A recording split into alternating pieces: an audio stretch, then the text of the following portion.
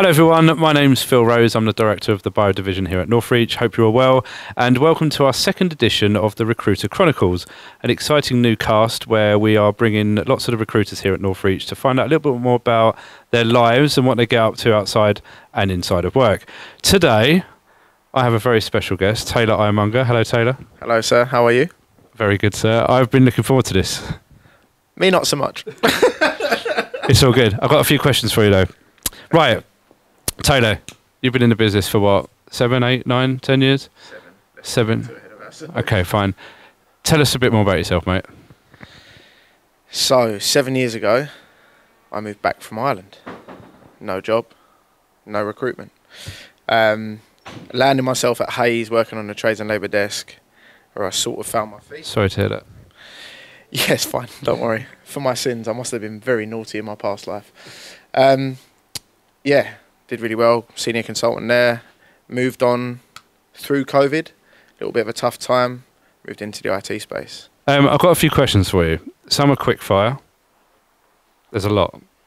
So I'm going to pick a few funny ones and some interesting ones. Let's go. I'm ready. If recruitment was a book, what would its title be? Champagne and razor blades. I like that. Okay. Do you want to write a book? About recruitment. I'll be champagne, you can be razor blade. It's fitting. You need a razor blade. Very fitting, yeah. I don't drink anymore, though. We'll have to swap. I know. Bubbly. I'm not sure it's that fun. Um, what's the mantra that powers your day? It's the one question I was hoping you wouldn't ask me. Um, I don't have one. I just get up, I do my thing. I enjoy what I do, so it's not that hard. I don't need anything to really drive me that much. What about a car? I mean, I've got one. yeah, it drives me to work. Yeah. Good man. I don't live my life by any mantras. Fine. One piece of wisdom for your 20 year old self. Don't get too high in victory, nor too low in defeat. If that's not wisdom, I don't know what is. Uh, we all have our own wisdoms. Which three words, sorry, which three words would you use to describe yourself? I would use, or anyone else. Driven, hardworking, and honest. Pretty sure they're the same ones I said about me. We have got the same middle name. Maybe there's a correlation. Let's not get into that. Although, if anyone wants to guess on LinkedIn what my middle name is, there'll definitely be some. Uh, you get free next placement because you won't get it. you, you won't. You won't get it. You won't get it. Um, what's the last series you binge watched? Suits. Good stuff. Um, Jon Hamm. No, that's what's that one? Mad Men. I don't know. I've never heard of Watch that. Is it good? John, It's really good. who's Jon Hamm? Move on. Move on. Victor, Mike Ross. Yeah, I've not seen it. It's too intelligent for me. What's the most unusual job you've ever done? I used. I had a temp job over Christmas when I was about eighteen, and it was for Schuh, the, the the footwear company, and for any returns that came into the shop, I had to untie the laces, pack them with the little tissue packaging, and retie the laces. That was my job for six weeks. Wow. Okay. I've never met. I've never met one of them. Did you? Yeah, it was quite good. I've never met one of them. That's awesome. Um, I'm glad I come to work today. Though.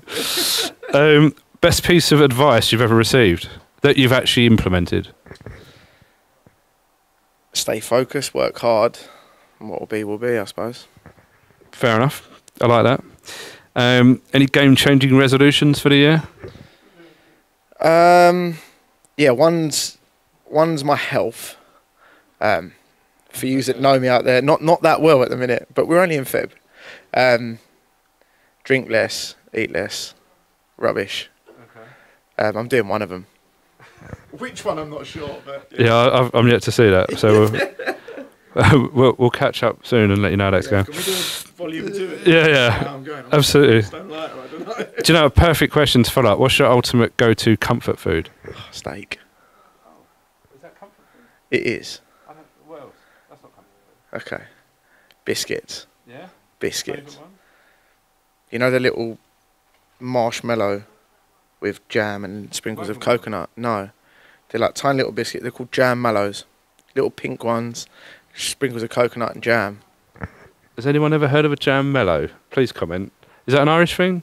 No, they sell them in Poundland. I'm going to get you some after this. Yeah, please. All right. Is that part of this new diet? No, but I've not needed comfort in yet. You can put them on your steak That'd be unreal. and your champagne. What, your champagne? You can drink my champagne. Um, right, let's make some questions up now. You've been here, what, six months? Mm-hmm. You started off working in my team in the bio, and then there's been a, a little shift in management. Um, who do you prefer to work for, me or Sam? Sam, Any particular reason before I chomp? Because this is who I'm working for now. Such a weeble answer. honestly, I haven't got a preference. Said like chalk and cheese. In what way? Oh, it's a tough question. You should start. You know, you've been friends for like 22 years. You know why you're chalk and cheese. I haven't got to explain that to you. Or Should we move on? yeah, let's do it. Let's say I was about to invest $200 million into a biotech company, and I said to you, Taylor, I've heard you're pretty good at recruitment. You operate in this space. I need to hire 400 people in the next five years. I need you to build my R&D, my translational, my CMC, my non-clinical, my clinical, my med affairs, my reg affairs, my PV teams. And can you fill up the C-suite? You can have it all exclusive over the next five years. However, you are never allowed to pick up a golf club for the rest of your life again. What would you do? We'd work well together.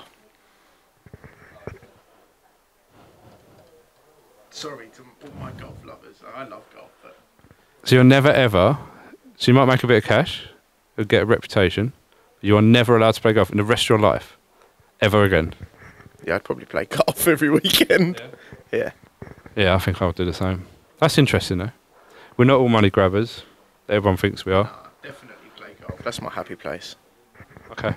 What's your favourite place to go to in the world? It's going to be golf related, and it's going to be Adare Manor Ireland? in Ireland. 2027 Ryder Cup. Watch this space. you playing in it? I wish.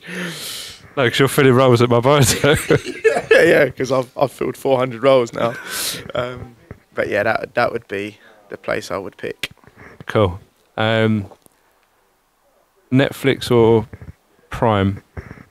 Netflix, Golf or darts? golf, Darts or pool? pool, Pool or checkers? pool, Pool in the checkers or the red line? red line. Red line. There's no pool table in the checkers. That's a good reason. Um, what would be your who do you support? Football. West Ham. How are they doing?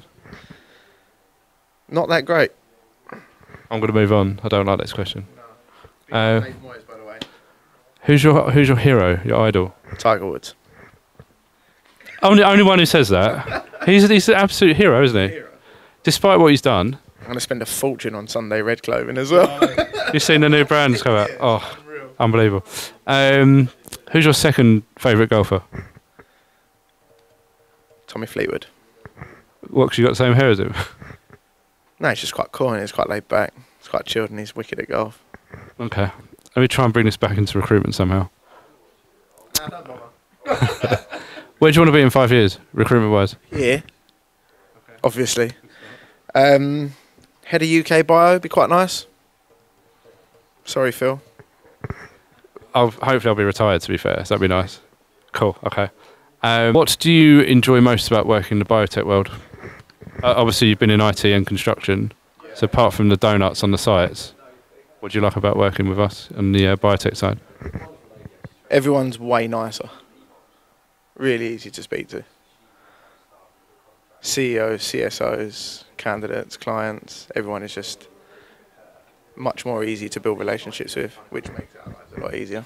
Why do you think that is? I think because there's an element of care and passion in what people do. So I find that the the more I speak to candidates, especially, there's a genuine reason as to why they're a scientist in immunology or they're, they're working on a certain product. About that. About telling us why they want to develop and make this their career. They won't move to another job for five pound a day because it's a support role. Basically that, yeah. Basically. Yeah, no, I agree. It's very good. Um, what's been your biggest challenge in this whole biotech world? Learning the the the biotech language. There's yeah, it's like I feel like I'm just at the tip of the iceberg at the moment. What's your favourite like new biotech terminology that you use? Do you say to your missus when you get home? Ophthalmology. Ophthalmology. okay. Does she ever ask you what a flow cytometer is? Uh, thankfully, no. It'd be a really cool dinner conversation. loads of col- loads of colours. loads of colours. Okay. Loads of colours. Right, we've entered the um, the quickfire phase. Let's do it. Apologies, I can't remember them all. So, right, sunrise or sunset? Sunset. Tea or coffee? Coffee. Now. Mountains or beaches? Beaches. Books or movies? Movies. Cats or dogs? Dogs. R- You've got a cat, yeah? yes. Running or cycling? Neither. I was going to answer it for you. um, singing or dancing? Dancing. Um, pizza or pasta? Pasta. Comedy or thriller? Comedy. Summer or winter? Summer. City life or countryside? Countryside. Classic music or rock and roll? Best of a bad bunch. Rock and roll. Cooking at home or dining out? Dining out. Early bird or night owl? Early bird. Romantic or practical? I hope she doesn't see this. Romantic. I'll try ask her. yeah. Um, golf or football? Golf. Sci-fi or fantasy? Fantasy. Sweater or hoodie? Hoodie. Call or text? Cool. Yeah, I can vouch for that. Anyone who knows Taylor. Um, thank you. I know this modern world we live in, hiding behind the phone. Um, thank you for that. That's all right. Just to finish this off with something a bit more serious. So, if you were given any advice to any colleagues, friends, family that want to get into recruitment, particularly biotech, somewhere like Northreach, we've worked in a few different places, a bit smaller, more of a family feel, trying to go this way. Um, what would your biggest bit of advice be? It's not a quick win. You can definitely make a career out of it. You've got to stick with it. Be focused. Work hard. And as long as you do that, you'll do all right. There you have it, everyone. Thanks for tuning in to um, episode two of the Recruiter Chronicles. Um, thank you so much, Taylor, for coming on board. Thanks for having me. Uh, lovely to have you and answer all the questions. Hope you found it insightful and stay tuned for episode three.